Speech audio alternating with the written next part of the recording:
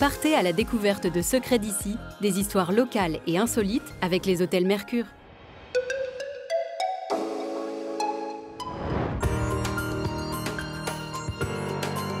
Les ortillonnages, véritables havres de paix au cœur de la ville d'Amiens, sont souvent comparés à Venise pour leur côté romantique. Mais la traversée de ces jardins flottants révèle bien d'autres surprises. Vous ne pensiez pas, par exemple, y trouver une galerie d'art à ciel ouvert.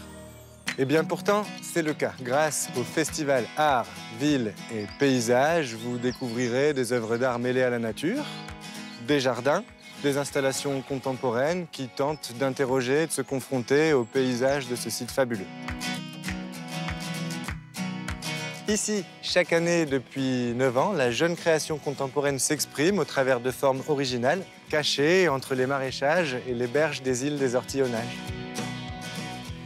Alors venez et scrutez minutieusement la nature pour dénicher ces œuvres insolites. J'aime bien quand tu me complimentes comme ça. C'était Secrets d'ici, des histoires locales et insolites avec les hôtels Mercure.